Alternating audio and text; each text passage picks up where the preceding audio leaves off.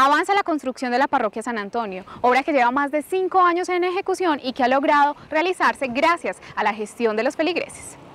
De a poquito se construye la parroquia San Antonio de Padua, una de las obras más esperadas por los feligreses del municipio de Guarni.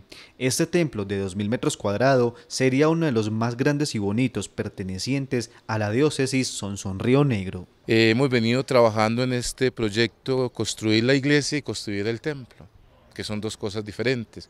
Construir la iglesia es los grupos, la parroquia, los niños, los grupos eh, de jóvenes, eh, las comunidades por el reino.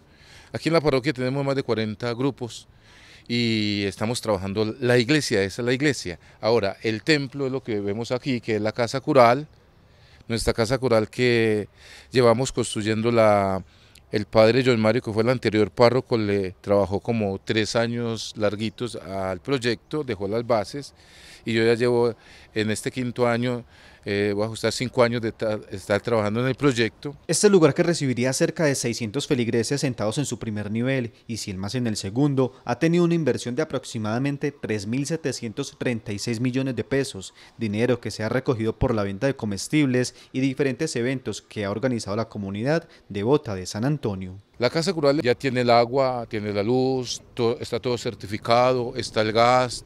En la parte de arriba ya tiene los baños, está todo, falta no pintarlo. Y ya uno podría ir a vivir allá.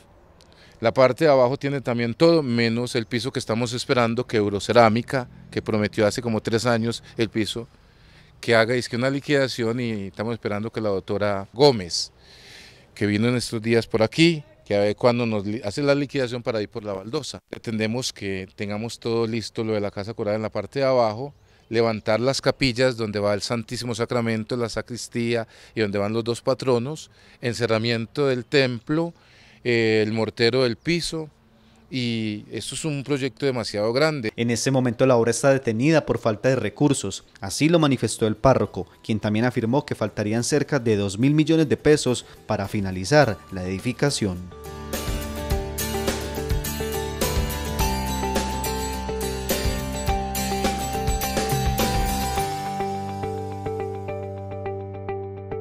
Con todo el alma, muchas gracias a ustedes por venir, que el Señor bendiga a Cable Plus porque siempre nos ha tenido en cuenta y a los que escuchan, que los bendiga y los acompañe y que puedan vivir una semana muy santa en nombre del Padre, del Hijo y del Espíritu Santo. Amén.